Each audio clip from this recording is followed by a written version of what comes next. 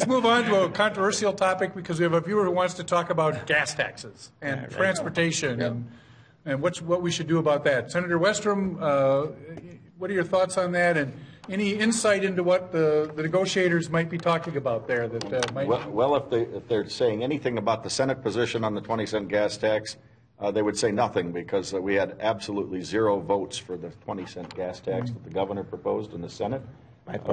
The bipartisan opposition, 65 to zero was the vote, or 66 to zero, excuse me, uh, when that when that amendment came forward, and so uh, no appetite for it. And uh, one of the things um, many people are not aware, but the governor's proposal takes general fund money, sales tax from the motor auto motor, auto parts, and moves it back to other spending and takes it away from roads and replaces it with additional gas tax.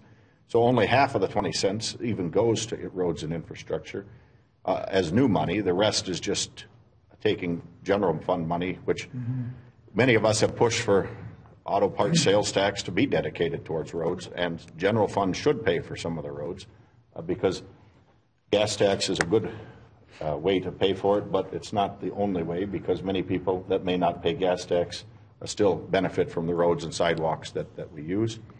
And so uh, I don't think it's got much life in the Senate. Um, You know, the other concern is the leakage on the highway uh, user tax fund now. There's many places, examples of uh, MnDOT really not making the best decisions. Uh, There's a uh, extravagant rest area up towards Duluth on I-35. We have a quick viewer who wants to know who made that decision as well. well, exactly, and that's uh, Senator Rarick and others uh, from that area are raising uh, lots of questions. Uh, Elbow Lake, my hometown, we uh, passed an amendment on the Senate bill uh, because uh, MnDOT's tearing up perfectly good roads that aren't at the end of their life and sidewalks and forcing that replacement prematurely. And the locals now have to pay a higher property tax to pay for the local participation, while a road that's got many years of life left in it, as well as Main Street sidewalks, are being tore up prematurely. And so the use of the, the fund, and there's many other examples that people have started raising with MnDOT, and so if you give them more money, they aren't going to start being more prudent. They'll just do more of these projects sooner, or spending uh, extravagantly on rest areas, uh, shipping in out of country woods and products to uh, make them extravagant. And, uh, you know, a rest area should be a rest area. It doesn't need to be a show horse. Senator Torres Ray, your thoughts, transportation, gas tax, all, you know, all of that. Well, I really believe that Democrats are on the right side of the issue. Uh, clearly, we, uh, the governor ran on this issue and won uh, with a good margin. Uh, rural Minnesota, suburban Minnesota, and certainly urban uh, Minnesota uh, are 100% with the governor.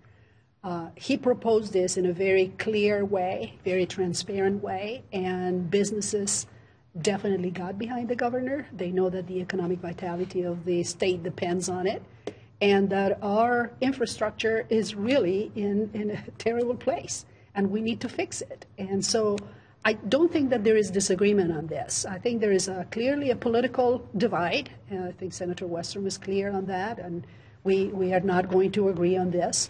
Uh, the vote that Senator Westrom uh, alluded to We is did agree on actually that, well, actually, that tax was kind of a, an interesting uh, proposal because the, it was, uh, uh, uh, I don't remember who was the uh, majority member who actually proposed the actual uh, raising uh, tax. And so, of course, we knew it was a joke, and so we voted uh, uh, with our Republican counterparts, and everybody voted for it. But it was uh, clearly not a, a serious vote.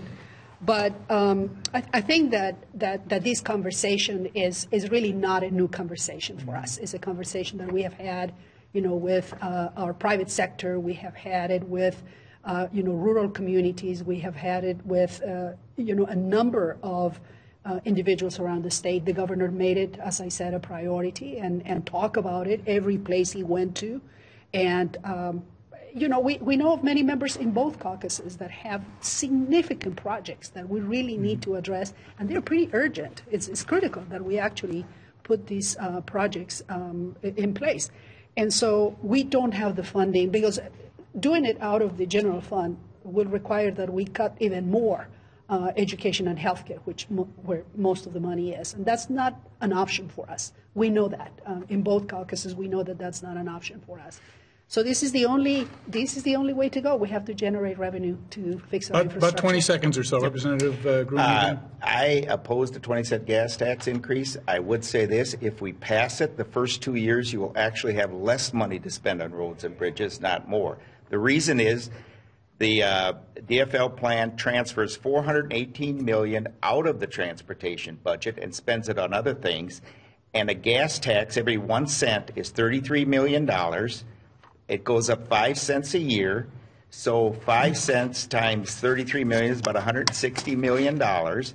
So to replace that 418 million, it's going to take at least two years. So it's a little bit of a bait and switch situation. 15 seconds, Representative Sauke?